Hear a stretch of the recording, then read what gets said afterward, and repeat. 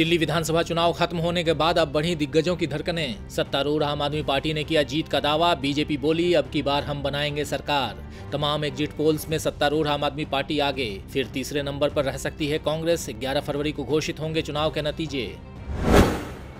उत्तर प्रदेश के दौरे पर जाएँगी कांग्रेस महासचिव प्रियंका गांधी।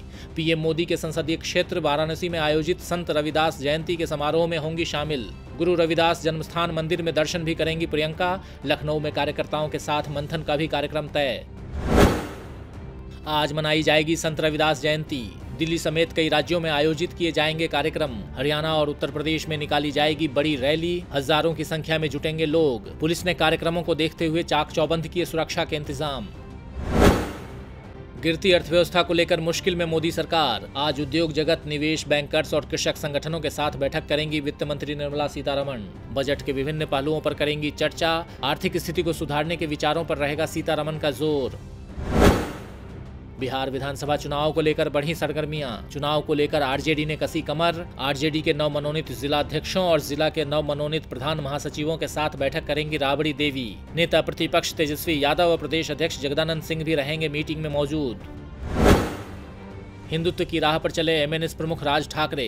पाकिस्तान और बांग्लादेश से आने वाले अवैध घुसपैठियों के खिलाफ आज करेंगे विशाल रैली। मनसे के नेताओं ने सीएम उद्धव ठाकरे को रैली के लिए किया आमंत्रित। कहा, उद्धव को देना चाहिए हमारा साथ। आज गोरखपुर के दौरे पर जाएँगे सीएम योगी।